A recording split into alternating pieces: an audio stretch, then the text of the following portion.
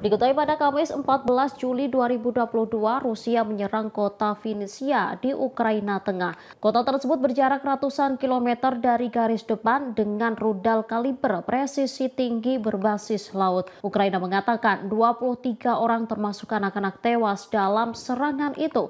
Namun Rusia menegaskan bahwa pihaknya menargetkan militer Ukraina yang tengah melakukan pertemuan. Pertemuan tersebut berfokus pada pasokan jet dan senjata serta perbaikan perbaikan pesawat Ukraina.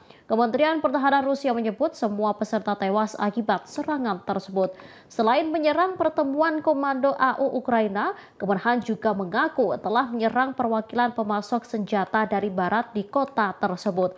Presiden Ukraina Volodymyr Zelensky langsung mengecam tindakan Rusia tersebut. Zelensky mengatakan jumlah korban di Vinsia kemungkinan akan meningkat. Pasalnya puluhan orang masih hilang dan banyak yang dirawat di rumah sakit dalam kondisi kritis. this.